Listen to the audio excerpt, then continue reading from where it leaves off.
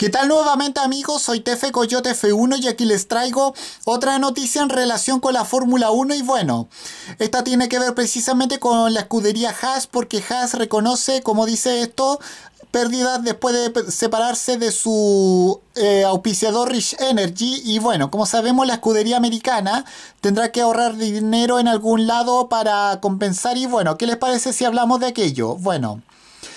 El jefe de la escudería Haas, Gunther Steiner, ha hablado por primera vez sobre el impacto que ha tenido que renunciar al patrocinio de la marca Rich Energy después de unos meses involucrados en problemas legales. Bueno, esta firma fabricante de bebidas energéticas y Haas firmaron un acuerdo mutuo eh, eh, firmaron de mutuo acuerdo rescisión de contrato que les unía. Y bueno, tanto una parte como la otra no estaban contentos con la alianza, ya que Rich Energy, por, su parte, también criticó al equipo Haas tras su complicada primera parte del año, llegando a decir que ellos querían competir y ganar a la otra marca de bebidas energéticas de la, de la parrilla, Red Bull Racing. Y bueno, bueno, eh, ese ha sido, bueno, ese ha sido,